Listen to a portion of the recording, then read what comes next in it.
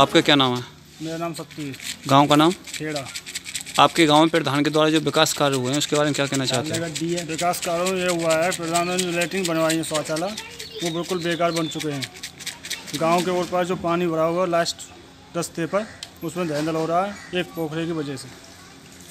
आपका क्या नाम है? गाँव का नाम? खेड़ा। आपके गाँव में जो प्रधान के द्वारा विकास कार्य कराए गए हैं उसके बारे में क्या कहना चाहते हो?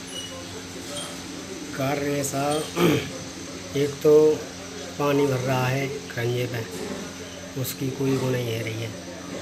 और एक शौचालय बनने हैं वो शौचालय नहीं है बनने सही। वो ऐसे बनने हैं कि ऐसे बनने हैं बन जाएँ और पड़ाक गिर जाएँ। क्या समस्या है भैया? शौचालय से संबंधित? क्या? शौचालय जो गाँव में निर्माण हो रहा है स्वच्छ भारत मिशन अंतर्गत योजना के अंतर्गत उसमें सीमेंट का प्रयोग न करें। केवल ईंट पेंट वैसे ही बना दिए जा रहे हैं जिससे किसी भी घटना को कभी अंजाम दिया जा सकता है।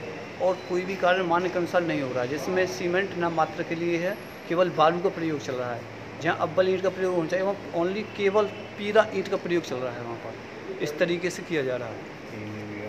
तो क्या आज आप किससे मिल रहे हैं? आज हम डीएम महोदय साहब से मिलने के लिए आए थे शिकायत करने के लिए आए थे और कुछ उस तरीके से कार्य हैं। जहाँ पर पानी चल रहा है जहाँ पर जो रास्ता निकलने का वहाँ केवल पानी बह रहा है। बिना बारिश के ही पानी चल रहा है यहाँ पर। इस स्थिति है गाँव की। हाल बेहाल है। डीएम साहब ने क्या कहा? डीएम साहब ने फॉरवर्ड कर दिया है आगे के लिए। जैसे जो कार्रवाई कराएँगे उसके लिए उन्होंने फॉरवर्ड कर दिया है। समस्या। को आपका नाम? मेरा नाम दलवीर सिंह है। गाँव खेड़ा पोस्ट दयाल नगर से तहसील खैर ब्लॉक खैर से।